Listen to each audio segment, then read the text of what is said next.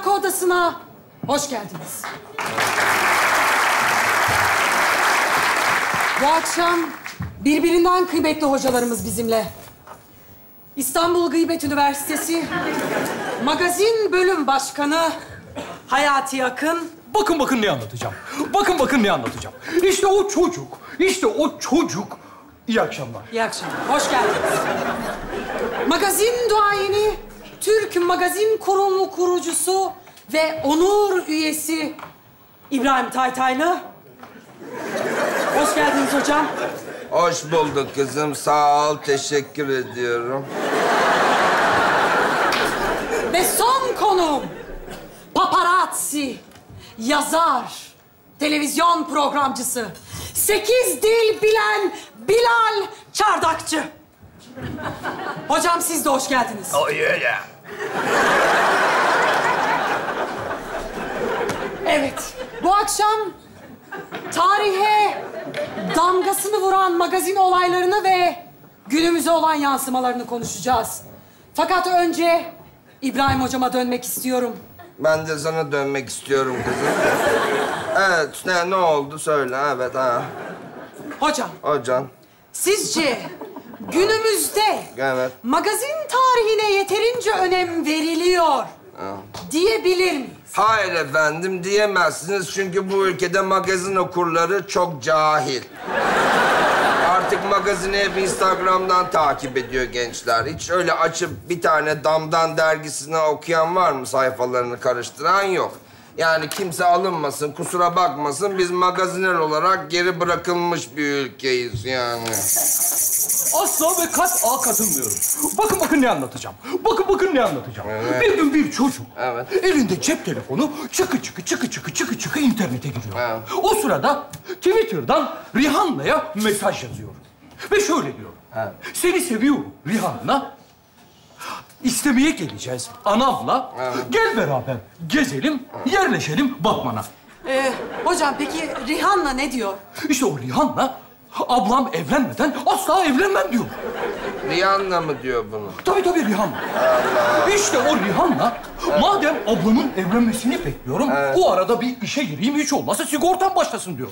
Sonrasında bir tekstil fabrikasında işe giriyor. Ve o arada bir şarkı yapıyor. Neydi o şarkı? Bravo. Bravo be, gerçekten bildiniz. Work, work, work. Bilmedi ya hayat. Öksürdü adam. Ona denk geldi. Efendim magazin internet demek değil. Şimdi Rihanna Damdan dergisinde olsa böyle mi olurdu? Olmazdı yani. İşte o çocuk Rihanna'yı bir dergide görseydi fotoğrafına bakıp bakıp iç geçirecekti. Oysa şimdi ne yapıyor o çocuk? Evet. O çocuk like'lıyor, mentionlıyor, DM'den yürüyor. Evet evet o çocuk. İşte o çocuk. Sapık o çocuk. Sapık yani durmadan darlamış kızcağızı. Ay Rihanna da mazbut başı önünde bir kızcağızdır yani. Öyledir yani şeydir tabii. E şimdi bak kızım sen de dinle. Biz eskiden bir ünlüye ulaşmak istediğimizde, görmek istediğimizde onu konserine giderdik. E, imza almak istesek de göğsümüzü açardık. Ama şimdi gençler ne yapıyor? E, ayıp bu demeden göğsünü açıp DM'den yolluyor ünlülere yani olmaz. Bu bir, buna bir su mu bir şey verin. Bu bir... Sen mi konuşuyorsun, balgamın mı konuşuyor belli değil. Bir, bir rahatla bir su iç. Bu ne dediği belli o değil. Bak.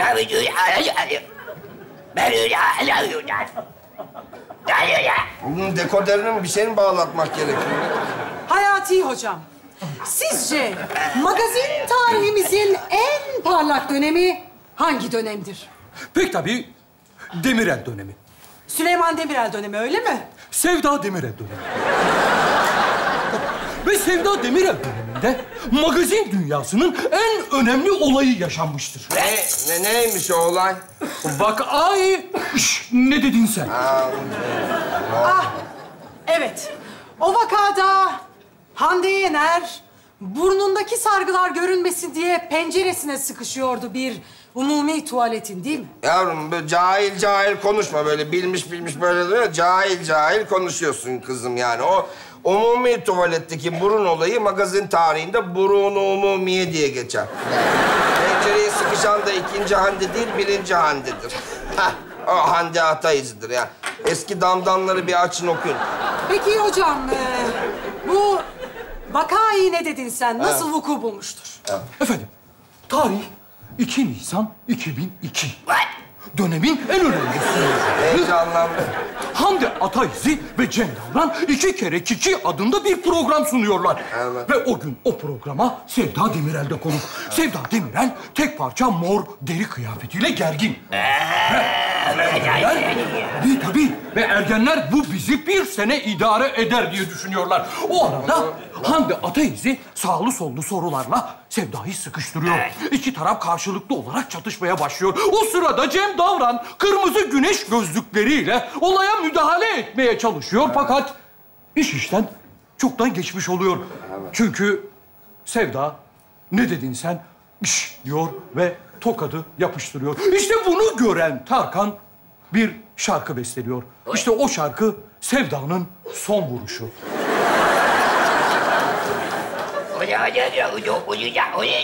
Anladın mı? İşte bak fosfor eksikliğinin sonu da bu adam ya. Ama bunlar çok cahil. Ben artık bunlarla vallahi magazin konuşmam. Şu an gidiyorum. Ama çok üşendim şu an. Biraz duracağım. Servisi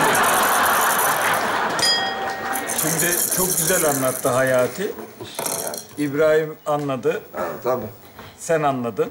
Ama sor bakalım beyefendi anladı mı Bilal Bey? Nasıl anladın mı? Anlattığını Tabii anladı anladım onu.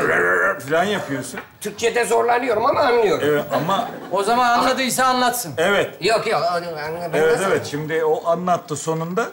Nasıl e, nasıl oluyormuş diyecek. olmuş ya, olay? Dur Bir deyip anlat kalkıp anlatacaksın işte. Evet. Yani 2002'den başlayıp Tarkan'ın Sevda'nın son vuruşuna kadar role girip anlatacaksın. Ya ben daha Türkçe konuşamıyorum. Ben onu nasıl anlatayım burada? Bence bunu biri yaparsa o da sensin. Yapamaz mı? Ya...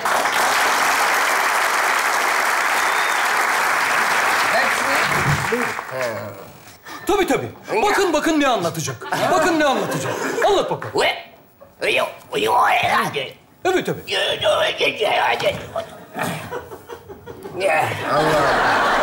Başımıza ne gelecek acaba bakalım ha. Anlat ha. Ha.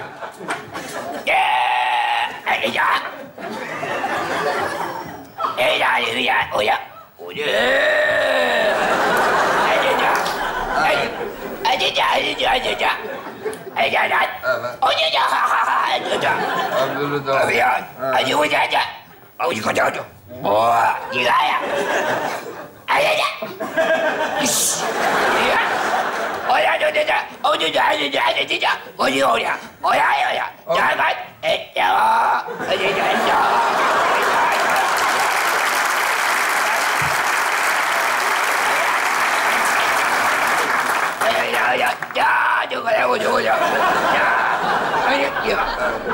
o. O, programda bir de Arto vardı. Kalkıp şaşırıyordu. ama... bu kış... Hatırladın. Ha,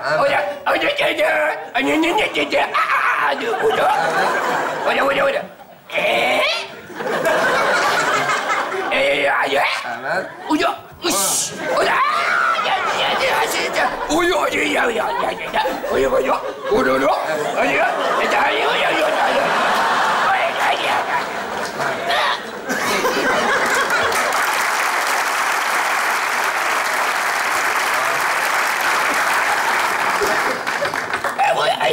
Tamam ya tükürme. Walking Dead gibi program oldu. Bu ne? Zombilerle sohbet ediyoruz burada. Vallahi terk edeceğim artık. Yeter yani. Bana, Şş, bana bak. Sen şunu düzeltelim azıcık. Tamam. Bana bak. Bilal bir öksürsen geçecek aslında ha senin. Vallahi. Öksürüm. Heh, konuş şimdi. Daha kötü oldu. Devam edelim. Sen şey yapma. Hocam bu Maraba Televole dönemi ardından gelen magazinin duraklama dönemini neye bağlıyorsunuz? E bak şimdi güzel kızım. Magazin tarihi iki bölümde incelenmeli. İ-Ö, İ-S. Tabii tabii. İbo Show'dan önce, İbo Show'dan sonra. Saçmalama be cahil. Ne ilgisi var? Instagram'dan önce, Instagram'dan sonra. Şimdi Artık öyle pazar keyfi izlemek falan, onun magazin televizyondan takip etmek bitti. Açıyorsun Instagram'ı, her ünlü 150 tane hi- hikaye paylaşıyor. O şeyinde, hesabında. Bütün gününü, ıncını, cıncını görüyorsun yani. Doğa Rutkay var mesela. Ben haz etmiyorum ben sabah uyandım, günaydın. Ay köpeğim şurada, ağaca baktım. Doğayı sevdim, kıra koştum. ikizlerimi besledim. Onun- Oradan tatile çıktım, denize girdim, yata atladım, dereye kaka yaptım. Tabii tabii tabii. İşte o dereye gagasını yapan Lady Gaga, gagasını çıkarıp çıkı çıkı çıkı çıkı çıkı çıkı çıkı çıkı koşuyor. Bu delirmiş artık. Bunlar yani ben... Bana bak. Sen Amerikan pastasındaki baba değil misin ya?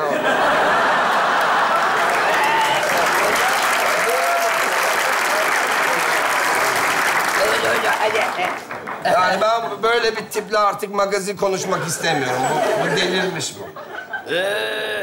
Senle de hiç konuşmam. Artık şu borularını açtır yani. Magazin mi konuşuyorsun? Uzaylılarla iletişime mi geçiyorsun? Belli değil artık.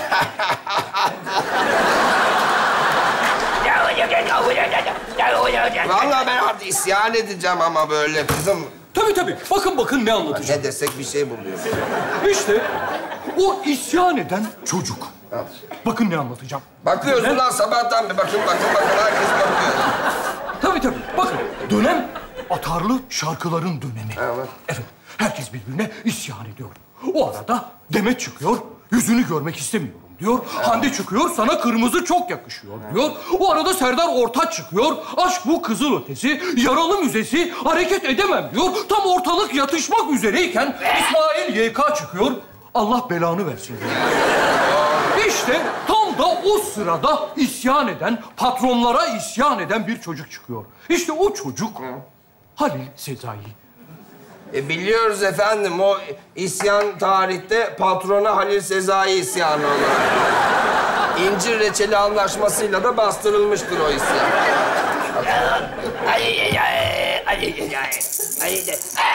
Dur bak korkuyorum.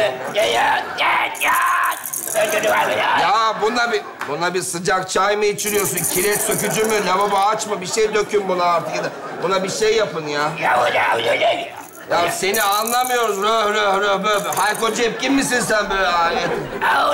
Ne diyorsun anlamıyorum. Bu ambulans diyor. Sabahtan beri boğuluyormuş adam. Anlamadık. Bu- Bunu gelin bir yetiştirin.